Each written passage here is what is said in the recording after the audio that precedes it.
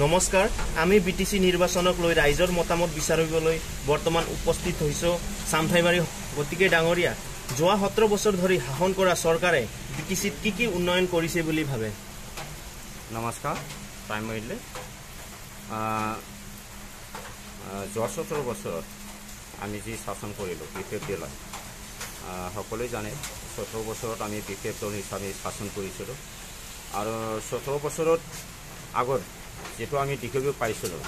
সোতৰ বছৰত ক'ব গ'লে মানে একোই উন্নতি বা তেনেকুৱা এনেকুৱা ডেভেলপমেণ্ট হোৱা নাছিলোঁ। আৰু যেতিয়া বি টি চি শাসন হোৱাৰ পিছত বা বি টি চি গঠন হোৱাৰ পিছত আমাৰ হাগ্ৰামা ছাৰে ছাৰে শাসন কৰিছিলোঁ। শাসন কৰাৰ পিছত আমি দেখিবলৈ পাইছোঁ। তেনেকুৱা বহুত ডেভেলপমেণ্ট হৈছে বুলি আমি ক'ব লাগিব। আৰু এই ক্ষেত্ৰত বিশেষকৈ আমি ক'ব লাগিব ডেভেলপমেণ্ট হোৱাটো ধৰি লওক ৰাস্তা আৰু তেনেকুৱা ব্ৰিজ হ'ল আৰু তেনেকুৱা শিক্ষাৰ ক্ষেত্ৰত আমাক ক'ব লাগিব medical college C I T তেনেকুৱা আমাৰ বহুত ডেভেলপমেণ্ট হৈছে বুলি আমি ক'ব লাগিব। আৰু যিখিনি ডেভেলপমেণ্ট হৈছে এইটো অকল আমি নক'লেও হ'ব। এইটো বহুত ৰাইজে তেনেকুৱা ডেভেলপমেণ্ট হৈছে বুলি আমি কৈছোঁ। আৰু ৰাইজে তেনেকুৱা হৈছোঁ কৈছোঁ ডেভেলপমেণ্ট হৈছোঁ বুলি। এই হিচাপে আমিয়ে জানো যে পি টি চি হিচাপে কেনেকৈ ডেভেলপ হৈছে কেনেকৈ ডেভেলপ হোৱা নাই।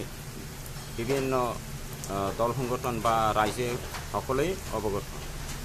সোতৰ বছৰ পূৰ্বে বি টি চি অঞ্চলৰ পৰিস্থিতি আৰু বৰ্তমানৰ পৰিস্থিতিৰ মাজত পাৰ্থক্য কি কি দেখা পাইছে আপুনি? পাৰ্থক্য এইটোৱে ক'ব লাগিব যিটো বি টি চি বা বি পি এফ শাসন নকৰাৰ আগত একোৱেই নাছিল বা ৰাস্তা বা তেনেকুৱা ব্ৰিজ বা কাৰ্ভাৰ তেনেকুৱা একোৱেই নাছিলোঁ। এতিয়া আমি দেখিবলৈ পাইছোঁ সৰু সুৰা তেনেকুৱা এল পি স্কুল বা হাইস্কুল তেনেকুৱা হেৰি হ'ল বহুত ডেভেলপমেণ্ট হ'ল। বাউণ্ডাৰী ৱাল ধৰি লওক আৰু তেনেকুৱা ভেটেনাৰী আমাৰ ওচৰত আছে বিল্ডিং। এইটো আমাৰ ক'ব লাগিব এইটো বিল্ডিং। এই বিল্ডিংটো হ'ল আমি দেখিবলৈ পাইছিলোঁ তেনেকুৱা ব্যৱসায়ীসকলে বা বিজনেছ বিজনেছমেনসকলে তেনেকুৱা বাহিৰত ওলাই পিনি বিজনেছ কৰিব নোৱাৰে।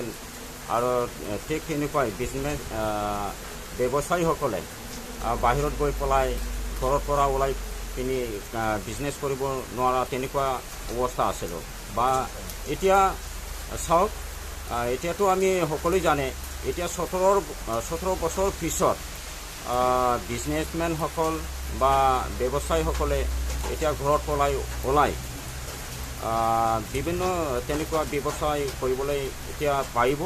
আৰু আমি ক'ব লাগিব শান্তিপূৰ্ণ এতিয়া আমাৰ বি টি চি অঞ্চল অঞ্চলবাসীয়ে এতিয়া বিজনেছটো কৰি আছে আৰু তেনেকুৱাই। ব্যৱসায়বিলাকে ব্যৱসায় কৰি আছে। এইটো আমি ক'ব লাগিব এতিয়া বৰ্তমান যি আমাৰ বি টি চি অঞ্চলৰ যি পৰিস্থিতি এই পৰিস্থিতি ভাল আছে বুলি আমি ক'ব লাগিব। বড়োফা উপেন্দ্ৰনাথ ব্ৰহ্ম ডাঙৰীয়াক হাগ্ৰামা মহিলাৰীয়ে ভাৰত ৰত্ন উপাধিৰে সন্মানিত কৰিবলৈ দাবী উত্থাপন কৰিছে। ইয়াৰ বিষয়ে আপুনি কি ক'ব বিচাৰিব? চাওক আমাৰ চিফ ছাৰ হাগ্ৰামা মহিলাৰীয়ে যিটো ইনিচিয়েটিভ লৈছে বটৌফা উপেন্দ্ৰনাথ তেখেতে এজন আমাৰ বড়োজাতে এজন এজন নেতা। গতিকে